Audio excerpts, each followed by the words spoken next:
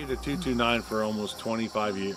Um, I am fond of it. I was lucky when I retired. Uh, the Air Marshals that I was teamed up with actually bought me a 229 Legion series, which is a little bit higher end.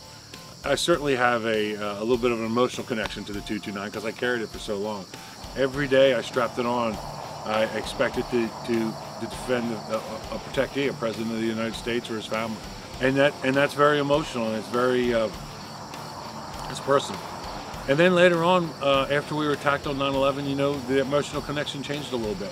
It became a little bit more personal. When I transferred um, to the Air Marshals in 2003, they issued me the same pistol, I was grateful because I had so much confidence in it. When you get on a plane and it's just you and your partner flying from the East Coast in the United States to the West Coast or somewhere like that, and there's a chance that some terrorist organization got 14 people on the plane to try to overcome you, and you have a gun that you've been carrying for that amount of time and you've been trained with um, and you believe in it, then you, you, feel like you're a complete unit and you can, and I always, I never got on a plane that I didn't feel like I could overcome any of it. When you carry something on your hip, on your right hip for 25 years and it sort of becomes a part of you.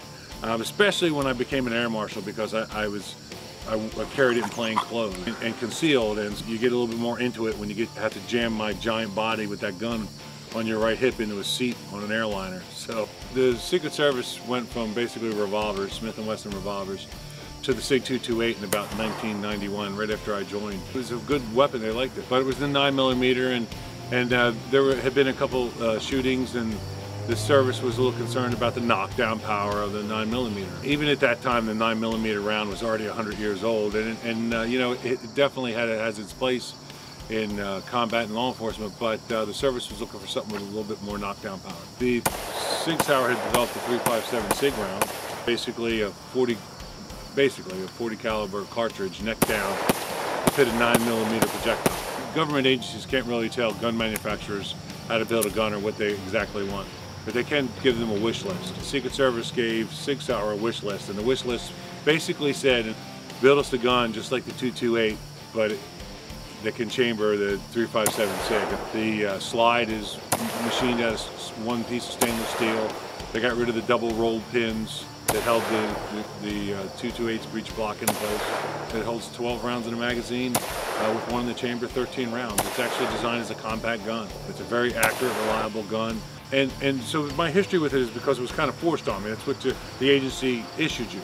And, but the truth is the Sig Sauer 229 is a really good gun. Um, Inside law enforcement, I've always heard people always refer to the Sig Sauer firearms, especially the 229 as the Cadillac of guns. Now you can go and buy a firearm personally yourself and probably put, you know, a couple hundred rounds through it, you know, 500 rounds through it every year and it'll never malfunction. But when you, when an agency buys a gun, they buy a lot of guns and they put thousands and thousands and thousands of rounds through them.